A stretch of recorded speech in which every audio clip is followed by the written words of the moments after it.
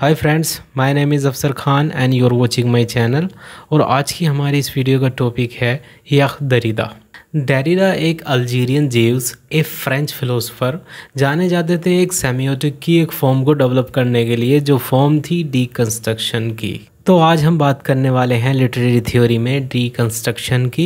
अपनी writing career में Derrida ने 14 बुक्स से ज़्यादा बुक्स पब्लिश की और हंड्रेड्स ऑफ़ ऐसे and lots of public presentation को, का कंट्रीब्यूशन दिया लिटरेचर में। यह दरीदा पर ह्यूमैनिटीज़ एंड सोशल साइंसेस और including philosophy literature law anthropology historiography applied linguistics socio linguistics psychoanalysis architecture और पॉलिटिकल थ्योरी का काफ़ी डीप इन्फ्लुएंस था। पर्टिकुलरली उसकी बात की राइटिंग्स में डेरिडा ने एथिकल एंड पॉलिटिकल थीम्स को अपने वक्स में एड्रेस किया था। कुछ क्रिटिक्स मानते हैं कि स्पीच एंड फिनोमेना 1967 में जो पब्लिश हुआ था, उसका मोस्ट इम्पोर्टेंट वर्क था। कुछ मानते हैं कि ग्रामेटोलॉजी 1967 में जो पब्लिश हुआ था और उसके बाद में जो पब्लिश हुआ था राइटिंग एंड डिफरेंसेस 1967 में और मार्जिनस ऑफ़ फिलोसफी 1972 में, उसका बेटर वक्त था। लेकिन जो भी हो, उनकी इस वेरियस राइटिंग की वजह से बहुत से फिलोसफर इंस्पायर हुए और उन्होंने न्यू डिस्कवरीज की, खास करके डेरिडा के वक्स को पढ़ने के बाद में। डेरिडा के कॉन्सेप्ट या उनके वक्स के बारे में और ज़्यादा बात करने से पहले, हम ये डिस्कस कर लेते हैं कि ये डीकंस्ट्रक्शन क्या होता है। इस कॉन्सेप्ट को सबसे पहले डेरिडा ने, उनके एक वक्त ग्रामेटोलॉजी में दिया था, जिसमें उसने इंटरप्ले बिटवीन लैंग्वेज और मीनिंग को एक्सप्लोर किया था। आइसोलेशन में समझने के लिए डेरिडा के टर्म्स जो हैं, वो थोड़े मुश्किल हैं। आइसोलेशन मीन्स अगर आपको स्ट्रक्चरलिज्म साइन सिग्निफायर सिग्निफाइड के कॉन्सेप्ट का बिल्कुल पता नहीं है तो आप बिल्कुल गलत जगह पर हैं। आप अपना टाइम बर्बाद कर रहे हैं और पहले आपको क्या करना चाहिए? पहले आपको स्ट्रक्चरिज्म के बारे में पता होना चाहिए। तब जाके आपको डीकंस्ट्रक्शन की जो थ्योरी है वो समझ आएगी। और स्ट्रक्चरलिज्म की वीडियो आपको डिस्क्रिप्शन में मिल जाएगी। और साइन सिग्निफायर और सिग्निफाइड के बारे में जानने के लिए बेटर होगा कि आप मेरी पिछली वीडियो फर्डिनेंड डी सॉसर की देख सकते हैं। आपको इन सब का एक बेसिक आइडिया हो जाएगा कि ये है क्या चीज़। तो अब बात करते हैं कि डीकंस्ट्रक्शन क्या होता है। कि इसकी आइडेंटिटी क्या है। Okay let's explain the term As we know that it is associated with the writing of Yak Darida, ये कह सकते हैं कि ये रीडिंग का एक मेथड है।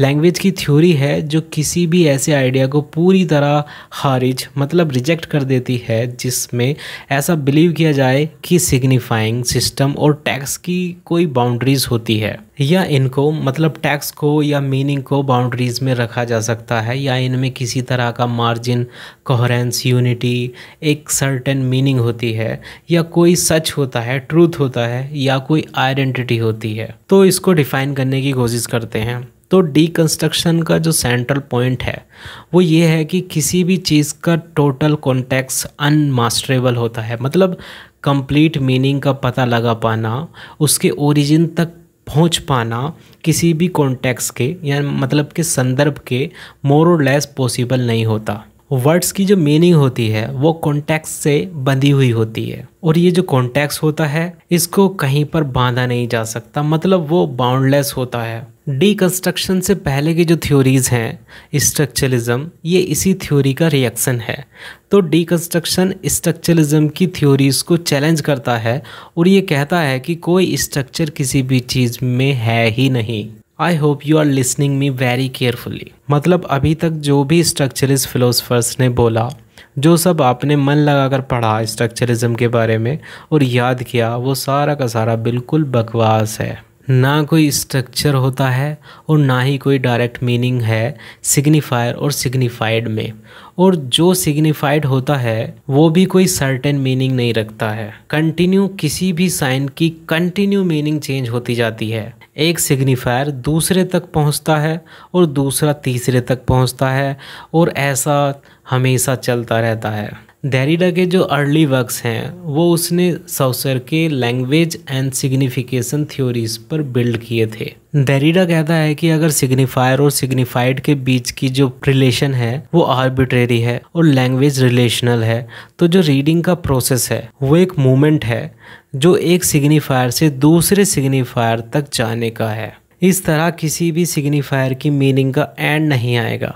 मतलब सिग्निफाइड नहीं आएगा और कोई भी रियल मीनिंग को डिस्कवर नहीं कर पाएगा, क्योंकि अगर हम किसी भी मीनिंग के एंड तक पहुँच पाते हैं, इसका मतलब है कि हम एक और सिग्निफायर तक पहुँच जाएँगे। और ये जो लास्ट वाला सिग्निफायर है, वो दूसरे सिग्निफायर तक हमें पहुँचा देगा और ये वाला आगे तक पहुँचा देगा और इस तरह ये प्रोसेस जो है, वो चलता रहेगा और हम कभी लास्ट मीनिंग तक नहीं पहुँच पाएँगे। बस हम एक सिग्निफायर से दूसरे सिग्निफायर तक ट्रैवल करते रहेंगे। इसको एक स्टोरी से समझते हैं। एक छोटा बच्चा होता है, वो अपने फादर से पूछता है कि ये वाइट कैसा कलर होता है। फादर ने जवाब दिया like like milk then he question कि मिल कैसा होता है? उसने कहा, जैसे cloud then he question and the clouds father ने जवाब दिया, जैसे फोक फिर बच्चे ने पूछा फोक कैसा होता है? देन उसे आंसर मिला, जैसे स्मोक आई थिंक बच्चा एलियन था बट आई थिंक उसने डेरिडा को पढ़ा होगा। आई होप आप समझ गए होंगे तो ऐसे ऐसे करके एक वर्ड की मीनिंग दूसरे वर्ड तक पहुँच जाती है। मीन्स एक सिग्निफायर दूसरे सिग्निफायर तक पहुँच जाता है। और अनंत तक ऐसा ही चलता रहता है, क्योंकि इवन सिग्निफाइड को भी समझने के लिए न्यू वर्ड की ज़रूरत पड़ती है। अगर आपने फर्डिनेंड दी सौसर की वीडियो देख ली है तो आपको पता होगा कि फर्डिनेंड ने कहा था कि सिग्निफायर अपनी मीनिंग बनाते हैं, क्योंकि वो एक दूसरे से डिफरेंट होते हैं। मतलब कि एक ट्री इसलिए ट्री है क्योंकि वो एक कार नहीं है, या फिर वो दुनिया की कोई दूसरी चीज़ नहीं है। वो सबसे अलग एक ट्री है, वो इसलिए ट्री है। लेकिन डरीरा ने कहा, ऐसा नहीं है, इससे भी बुरा कुछ है। वो ये है कि ट्री इसलिए ट्री है क्योंकि दूसरी चीज़ें वहाँ पर मौजूद नहीं हैं। मतलब दूसरी चीज़ों की जो अबसेंस है, अगर वो वहाँ पर है तो ट्री ट्री है। मतलब कैट वर्ड्स इसलिए कैट है क्योंकि यहाँ पर बैट है डॉग बॉल ये दूसरे वर्ड्स एबसेंस हैं। मीन्स दूसरे वर्ड्स मौजूद नहीं हैं, इसलिए कैट अपनी मीनिंग को क्रिएट करती है। हर एक सिग्निफायर जो होता है, वो डिफरेंस रखता है अपने दूसरे सिग्निफायर से जो अपसेंस होता है। और ये हमारे लिए इस तरह उस सिग्निफायर की मीनिंग बनाते हैं। लेकिन ये जो अबसेंस है, वो हमारे लिए बहुत ज़रूरी है, क्योंकि बिना इस अबसेंस के हमें कभी ना पता चलता कि कैट की क्या मीनिंग है। बजाय उसके कि कैट रिज़ल्ट है डिफरेंस के प्रजेंस का। Let's try again Derrida chief contribution has been to show how language is fundamentally slippery based on self-contradictory, unfinalizable condition of difference. His arguments have focused on the need to pay closer attention to the way in which meanings are produced temporarily rather than with any finality through contradictions and ambivalence and how consistently rebelled against any authoritative or authoritarian meaning means Derrida का chief contribution ये दिखाता है कि दुनिया को कि language किस तरह फंडामेंटली स्लिपरी होती है। जो बेस होती है सेल्फ कॉन्ट्राडिक्टरी अनफाइनलाइजेबल कंडीशन और डिफरेंस पर। मतलब लैंग्वेज अपने आप में अनफाइनलाइजेबल और कॉन्ट्राडिक्टरी होती है। उसके आर्गुमेंट का फोकस इस बात पर है। वो चाहता है कि इस चीज़ पर फोकस किया जाए कि किस तरह टेम्परली मीनिंग प्रोड्यूस होती हैं एक सिग्निफायर के लिए। बजाय हम उस पर फोकस करें कि किसी सिग्निफायर की कोई फाइनल मीनिंग नहीं होती। अब बात करते हैं डेरिडा के कुछ कॉन्सेप्ट्स और थ्योरी की। अगर आपको ये कॉन्सेप्ट समझ नहीं आते हैं तो परेशान होने की ज़रूरत नहीं है। बस आपको ये याद रखना है कि ये कॉन्सेप्ट हैं और ये डेरिडा के कॉन्सेप्ट हैं। Okay? So let's begin so so, सबसे पहले आता है मेटाफिजिकल ऑफ़ प्रजेंस जिसको लोगो सेंट्रिज्म भी कहते हैं। बहुत सारे ऐसे टर्म्स हैं जिन्हें डेरिडा काम में लेता है। ये डिस्क्राइब करने के लिए कि वो क्या सोचता है। वेस्टर्न फिलोसफिकल ट्रेडिशन के फंडामेंटल तरीक़ों के बारे में जिसमें वो यूज़ करता है लोगोसेंट्रिज्म फेलोगोसेंट्रिज्म या फिर उसने इसको मेटाफिजिक्स ऑफ़ प्रजेंस कहा है। यहाँ पर वो दो स्ट्रक्चरलिस्ट को लेता है क्लाउड लेविस्ट्रस को और फर्डिनेंड सोसर को, कि इन लोगों ने किस तरह लिंग्विस्टिक्स एंड कल्चर में स्पीच और राइटिंग को अलग अलग करके खास बनाया। वो कहते हैं कि स्पीच प्रिविलेज होती है राइटिंग से मीन सुपीरियर समझ सकते हैं आप, क्योंकि मोर ऑथेंटिक होती है।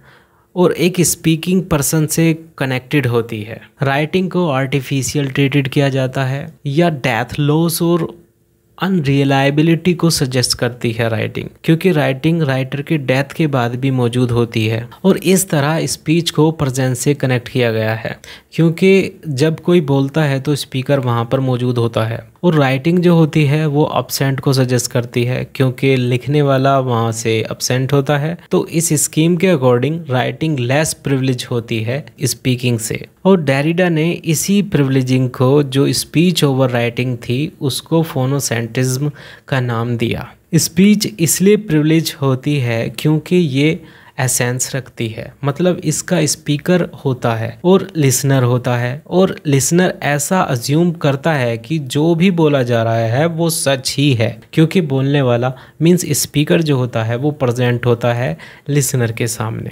डेरिडा ने प्रपोज किया कि ट्रूथ का जो विश्वास है, वो सेंटर के आइडिया पर डिपेंड है। या ये कह लीजिए कि कोर या एसेंस पर डिपेंड है। कोर या एसेंस समझते हैं आप? मतलब हर एक चीज़ का एक कोर रियलिटी होती है, उसका मेन फ़ंक्शन होता है एसेंस होता है कि उस पर्टिकुलर चीज़ का मेन फ़ंक्शन क्या है और उसका एग्जिस्टेंस किस वजह से है। तो इसी को हम एसेंस कह सकते हैं। और इसी सेंटर को लोगोस कहा जाता है ग्रीक में। और इसी चीज़ को उसने लोगोसेंटिज्म का नाम दिया या फिर उसने इसको मेटाफिजिक्स ऑफ़ प्रेजेंस कहा। किसको कहा? स्पीच ओवर राइटिंग्स को। Phonocentrism is a term Derrida uses to describe the privileging of speech over writing in western thought a privileging based on the assumption that because speech implies a speaking presence it is more authentic means western thought के according speech को privilege इसलिए दिया गया क्योंकि वो presence होती है। और लोगोसेंट्रिज्म का यूज़ टेरिडा ने इस असम्पशन को डिस्क्राइब करने के लिए किया कि वेस्टर्न फिलोसफी हर एक चीज़ में कोर रियलिटी एसेंस ट्रूथ और सेंटर को तलाश करने की कोशिश करते हैं, जिसे लोगोस कहते थे ग्रीक में। अभी मैंने बात की।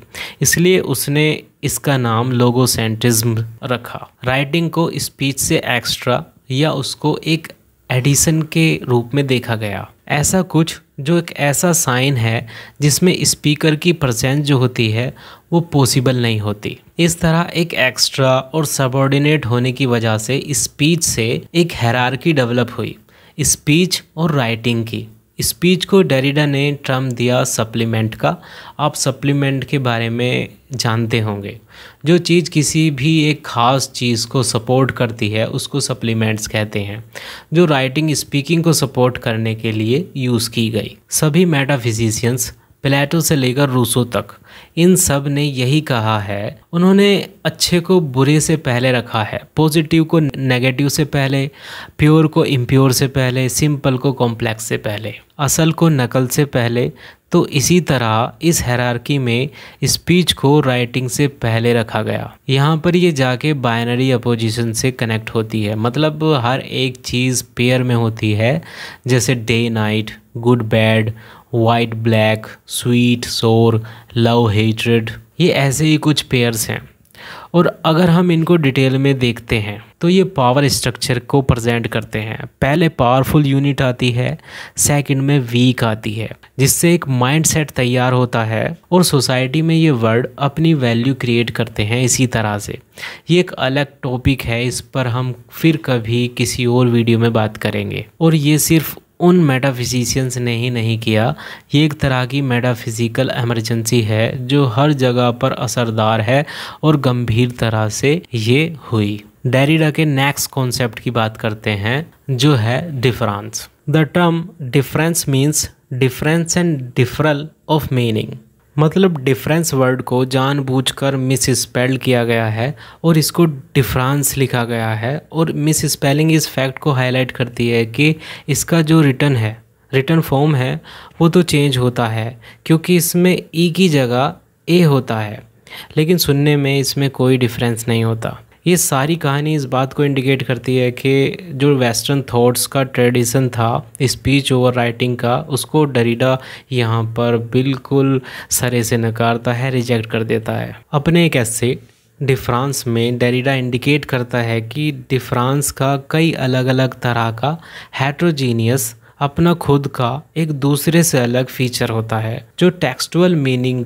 के प्रोडक्शन को कंट्रोल करता है या उसको इफ़ेक्ट करता है। पहला तो ये बिलीव कि वर्ड्स जो होते हैं या साइन कह सकते हैं, कभी भी पूरी तरह अपनी खुद की मीनिंग तक अपने आप नहीं पहुँच सकते। लेकिन बस इनकी मीनिंग एडिशनल वर्ड की हेल्प से डिफाइन की जा सकती है। इन वर्ड्स से जिनकी हेल्प ले ली गई है, वो डिफ़र होते हैं उन वर्ड्स से जिनको डिफ़ाइन करने में ये वर्ड्स या साइन हेल्प करते हैं। इस तरह मीनिंग जो होती है, हमेशा डिफरेंट होती जाती है, एक एंडलेस सिग्निफायर तक।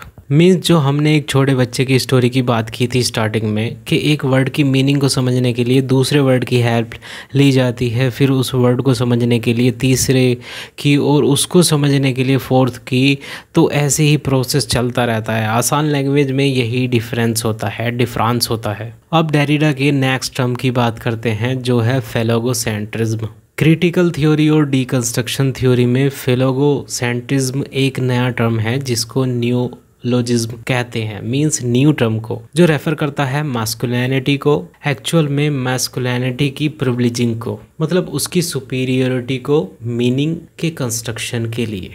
ये वर्ड एक पोर्टमेंटिव है मतलब एक ऐसा वर्ड है जो दो वर्ड से मिलकर बना है मतलब जो दो वर्ड से मिलकर बनता है, उसको पोर्टमेंटिव कहते हैं। इसमें एक वर्ड है फेलोसेंटिज्म जो फोकस करता है पेट्रियार्की के पॉइंट ऑफ़ व्यू को। मीन्स जो इसमें वर्ड है फैलस उसका मीन्स होता है रिप्रोडक्शन ऑर्गन ऑफ़ मेल जो सोसाइटी में मेल सुपीरियोरिटी के पॉइंट ऑफ़ व्यू को इंडिकेट करता है। और दूसरा है लोगोसेंटिज्म ये फोकस करता है कि इस वर्ल्ड में लैंग्वेज किस तरह मीनिंग क्रिएट करती है। सवाल ये उठता है, अब ये है क्या? डेरिडा और दूसरे फिलोसफर्स ने ये फाइंड आउट किया कि लैंग्वेज पर पैट्रियार्की का बड़ा इफ़ेक्ट है। मतलब मेल सोसाइटी ने लैंग्वेज को इफ़ेक्ट किया है। उसको अपने फ़ायदे के लिए मैनिपुलेट किया है और ये चीज़ डेरिडा ने इस आइडिया को अपने ऐसे प्लेटोज फार्मेसी में दिया है। द फेलोगोसेंट्रिक स्कॉलर इस आधार पर आर्गूमेंट्स करते हैं कि मॉडर्न वेस्टर्न कल्चर लोगोसेंट्रिज्म और फेलोगोसेंट्रिज्म के द्वारा कल्चरली और इंटेलेक्चुअली सब्जुगेटेड किए गए हैं मतलब अधीन किए गए हैं। और लोगोसेंटिज्म से डेरिडा डिटर्मिनेटनेस की फ़िलोसफी को रेफ़र करता है और फेलोगोसेंटिज्म यूज़ किया गया है ये डिस्क्राइब करने के लिए कि कैसे लोगोसेंटिज्म को जेंडराइज्ड किया गया है मास्कुलैनिटी द्वारा। या कह लीजिए पेट्रियार्कल एजेंडा के द्वारा। बाद में डेरिडा दोनों टर्म्स को आपस में मर्ज कर देता है और नया वर्ड होता है फेलोगोसेंटिज्म डेरिडा का नेक्स्ट टर्म आता है आर्क राइटिंग आर्क राइटिंग में वो स्पीच और राइटिंग के बीच की रिलेशनशिप को न्यू दिशा देने की कोशिश करता है। यहाँ पर वो ये कहता है कि स्टार्टिंग से ही मतलब प्लोटो से ही स्पीच को प्रायोरिटी दी गई है राइटिंग पर। जैसे कि जो वेस्टर्न फोनेटिक राइटर्स थे वो भी यही समझते थे कि राइटिंग जो होती है, वो स्पीच की एक कॉपी होती है, उसकी इमिटेशन होती है, या एक पुअर कॉपी कह सकते हैं, वो होती है। फिर उसको बाद के फ़िलोसफ़र जैसे जीन जे अखरूसो और लिंग्विस्टिक्स फर्डिनेंडी सोसर दोनों ने ही राइटिंग को सेकेंडरी ही माना है। और ये सब डेरिडा अपने एक ऐसे प्लेटोस फार्मेसी में वो इसी प्रायोरिटी पर सवाल करता है। और कहता है कि प्लेटो ने एक बार ये कहा था कि राइटिंग जो होती है वो पॉइजनस होती है मेमोरी के लिए, क्योंकि राइटिंग सिर्फ़ एक रिपीटेशन होती है। लेकिन डेरिडा कहता है कि स्पीच और राइटिंग दोनों रिपीटिशन पर ही रिलाई करती हैं और इनको पूरी तरह एक दूसरे से अलग नहीं किया जा सकता है। आर के राइटिंग में आर के का मीनिंग होता है ओरिजिन या प्रिंसिपल जो राइटिंग और स्पीच के डिवीज़न से बाहर होता है। मतलब आर के राइटिंग इस तरह की राइटिंग को रेफ़र करती है, जो स्पीच और राइटिंग से आगे होती है। मतलब इनसे भी पहले आती है। आर के राइटिंग एक सेंसिस लैंग्वेज होती है। ये किसी भी लैंग्वेज के यूज़ करने से पहले ही वहाँ पर होती है। फिर भी इसमें लचीलापन होता है, जिसे बदला जा सकता है। एक स्ट्रक्चर होता है, एक स्टार्टिंग होती है, जो पूरी तरह से फिक्स नहीं होती, जो कि डिफरेंट वर्ड्स और डिफरेंट सेंटेक्स से सेट होती है। यही फिक्सनेस को डेरिडा रेफ़र करता है कि हम किसी भी कल्चर में इसको देख सकते हैं जिसको राइटिंग की ज़रूरत नहीं होती। इसको यानी कि आर्क राइटिंग को एक फिक्स कस्टम में देख सकते हैं, जहाँ पर सोसाइटी रहती है। आई होप आपको कुछ समझ आया होगा और बहुत कुछ समझ में नहीं आया होगा। तो बेटर होगा आप यही ध्यान में रखो कि ये टर्म हैं और ये डेरिडा के हैं। इसके बाद में नेक्स्ट कॉन्सेप्ट आता है फ्री प्ले का। इस टर्म को, इस कॉन्सेप्ट को डेरिडा ने 1966 में structure sign and play in discourse of human science इस हिस्से में दिया था। इसके बारे में इतना ही काफ़ी है। इसके बाद आते हैं ट्रेस जो कि डीकंस्ट्रक्शन थ्योरी है। इसके बाद में आता है इन्वेगिनेशन नेक्स्ट कॉन्सेप्ट आता है फार्माकोन नेक्स्ट आता है होंटोलॉजी नाउ अभी कुछ और बाकी है जो बात करने के लिए रह गया है। और इसके बाद इस वीडियो को हम फिनिश करेंगे। लेकिन इससे पहले बात कर लेते हैं there is no outside text ये दरीदा ने कहा था। इसका क्या मतलब होता है? So we can understand this statement through these statements first text is not restricted by a books margin और बाइंडिंग मीन्स टैक्स को ओनली बुक्स के अंदर कंट्रोल नहीं किया जा सकता है। सेकंड आता है, एक टेक्स्ट बुक्स के बॉर्डर या फिर कह सकते हैं अपने खुद की लिमिट से बाहर निकल जाता है। और जो बुक का एंड होता है, वो टैक्स का एंड नहीं होता है, ना ही राइटिंग का एंड होता है। तीसरा आता है, हर एक टैक्स की एक हिस्ट्री होती है। हिस्ट्री से मेरा मतलब है ट्रेस से। इसका मतलब है कि एक टैक्स का लिंक दूसरे टैक्स से कनेक्टेड होता है, इसको इंटरटेक्सुअलिटी कहते हैं। फोर्थ है, हर एक टैक्स जो होता है, एक वेब की तरह होता है, जो दूसरे टैक्स से इंटरकनेक्टेड होता है, लेकिन अपने जैसे डिफरेंट टैक्स से।